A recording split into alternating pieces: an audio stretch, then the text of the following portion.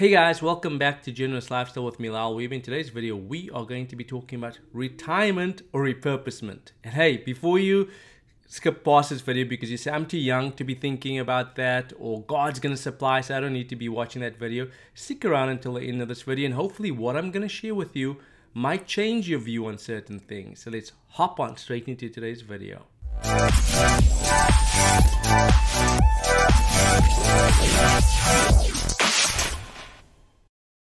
You might be saying, Lyle, I'm in my 20s or 30s. I've still got lots of years ahead of me before I hit the age of retirement. Or you might be saying, I'm in my 50s or 60s. God has taken care of me up until now. I don't need to worry about that. I tithe and I sow. I quote the word. Wonderful. I believe you should be doing all those things. However, when I read my Bible, I, I see scriptures like the ant laying up in the, the summertime for the winter. I look at Joseph in Potiphar's house where he went and the, God gave a word that there was going to be lean years, seven years of lean years, and God prepared them for that by storing up. And we're not putting our faith and trust in our retirement fund. Whether you find yourself in the States and it's a 401k or in South Africa where it's your pension and provident fund, we don't put our trust in that. But I do believe that we can do our part by setting aside uh, funds or our resources for the future. So we're thinking about the future, we're thinking about the generations to come. I might be able to set aside money now and on a constant basis so that when I transition to heaven one day, that I'll be able to leave an inheritance for my children's children. So think about it maybe from that perspective too. So let's hop into a few points real quick. Number one, failing to plan.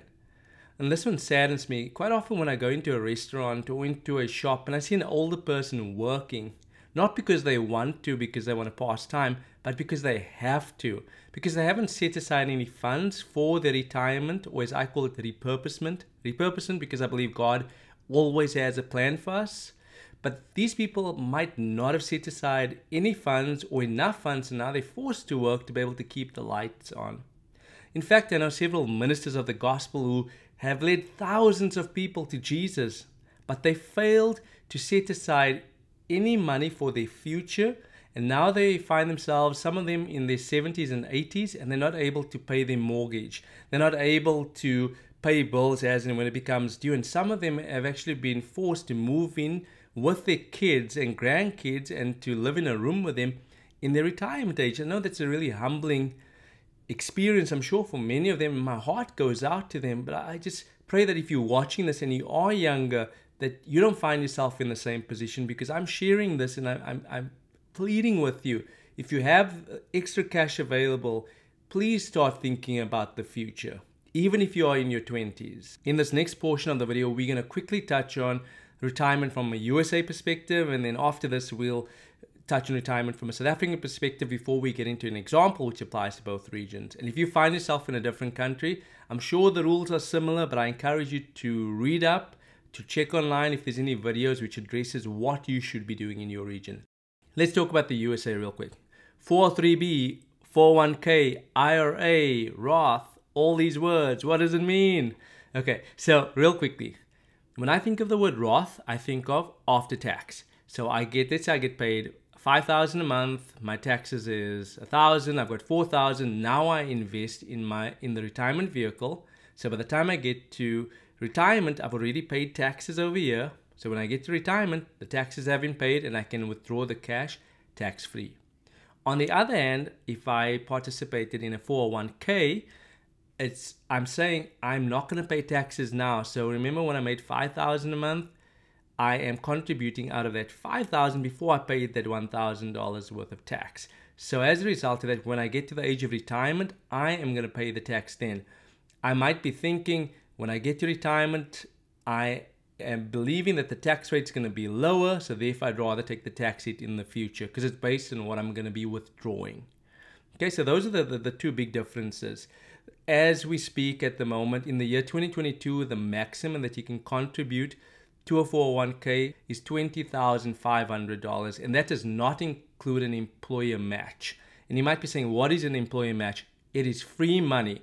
It's money that your employer is giving you to participate in the retirement fund. So let's say you work at a place and they say, for every dollar you put in, they're going to put in a dollar up to a certain level. Or they quite often say, for every for a particular percent of your salary that you make, we're going to put in a certain amount up until a certain amount. It's free money. And that doesn't count towards your 20,500 that you're able to invest on a annual basis. Next up, we'll talk about IRA and the Roth IRA real quickly. So this is different to the 401k. This is an individual retirement account. So it's where you are participating on your own. So it's not part of what your employer is making available to you. So why would you want to do that? Or why would you want to participate by yourself? Because there's more flexibility. Normally, when you work at a place, they might have a certain amount of mutual funds that you can contribute to, and you are limited to those. Whereas with your IRA or your Roth IRA, you can then decide the type of investment vehicles you want to put your funds into. Again, IRA versus Roth IRA, the one is pre tax, like the 401k, that would be the IRA.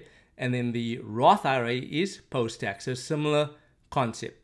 Just bear in mind, guys, I encourage you to go into the IRS's website. There's also certain thresholds that you need to bear in mind that if you make beneath or below a certain amount, you can contribute. If you make more, you can't contribute to these particular vehicles. Also, they look at what your earned income is in a particular year, and that you can only contribute up to that particular amount. So go onto the IRS's website and make sure that you look at that and you make an informed decision. But I want to encourage you if you do have the option to participate at your employer and they've got a match, take full advantage of that.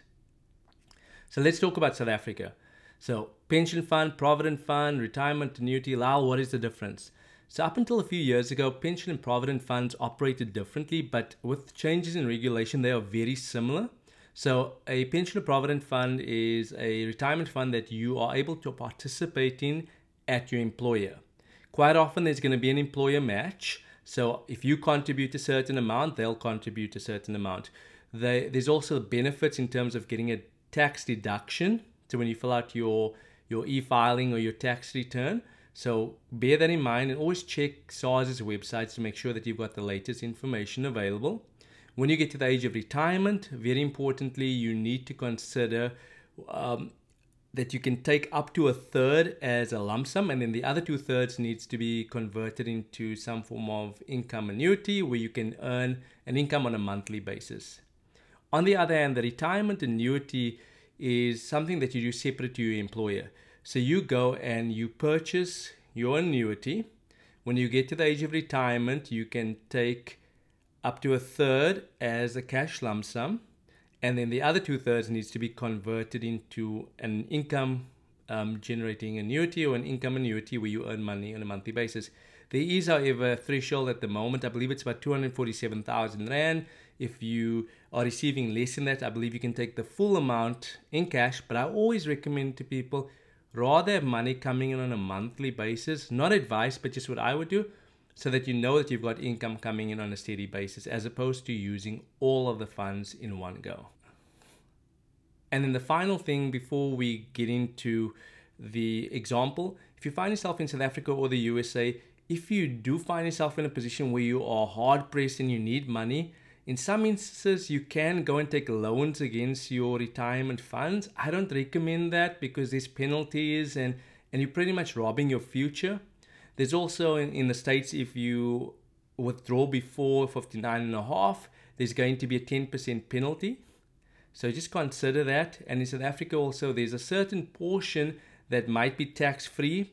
The rules have changed over the, the past couple of years. So every year, just make sure that you know what that amount is. But just do your best, guys, not to withdraw before the age of retirement. I know that circumstances might dictate that you might be forced into that position, but always look to see if there's another way that you can do this so that you're not taking away from your future self. So let's look at an example real quick. So this is nerdwallet.com. It's a retirement calculator. I know the rules are slightly different in South Africa, but I just want to illustrate something to you guys real quick. Let's say this person started contributing $500 per month at the age of 25 and they made $60,000 per year. If they did that until the age of retirement of 67, they are going to end up with 1.39 million. 2.1 is the target and the 2.1 will allow them to maintain their current lifestyle. And I want to show you something real quick. Let's say the person waits until they are 35 they're only going to set aside 0.69, so $700,000. They're not going to be able to maintain their lifestyle. They're going to have to probably sell their house or their car by the time they get to retirement.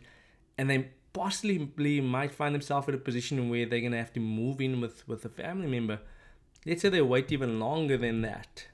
They're only going to set aside 300,000 if they start saving at the age of 45.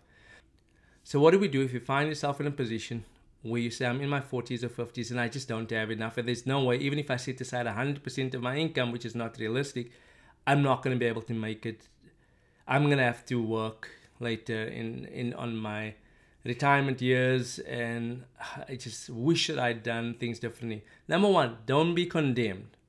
Number two, you serve a big God who is able to provide for all your needs according to his riches in glory.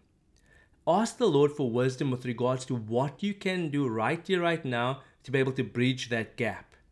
I believe that there's many of you watching this video today that's got gifts and talents on the inside of you, which you can use to generate extra income. It could be a book that God has locked up on the inside of you, which is wanting you to give birth to, which could be used to generate the extra income to catch up that shortfall, even take it beyond that.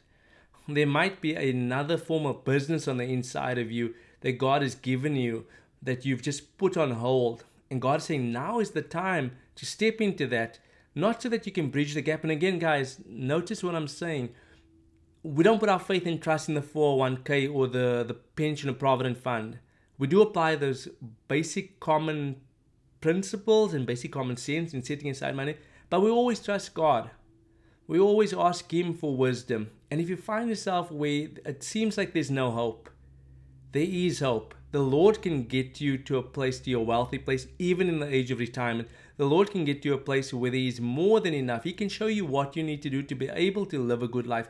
If you find yourself and you are younger today and you haven't started, I challenge you guys, start setting aside something so that when you get to the age of 67, 68, you've got more than enough that you can actually set aside funds for your children's children. Let's start thinking beyond ourselves and let's start thinking about the future generations that are to come. So as we wrap up this video, guys, I hope that this helped you. I hope that this maybe showed you why you need to be considering setting aside funds for retirement, especially if you are in your 20s or 30s, or even if you are beyond that, if you are in your 40s, 50s, 60s, 80s, that God is still able to provide for you. God is a good God we don't need to be worried about finances, but there's certain things we can do in the natural to make sure that when we get to the age of repurposement, as I call it, that we don't need to be concerned. We don't have to go and work that extra job to be able to keep the lights on. If this video was a blessing to you, comment below this was a blessing. If this video encouraged you to start saving for retirement, you can comment below too and say, I'm saving for retirement. And then finally, guys, if you haven't subscribed to this channel quite yet, please consider subscribing. God bless you guys, and I look forward to catching up with you guys soon. Bye, guys.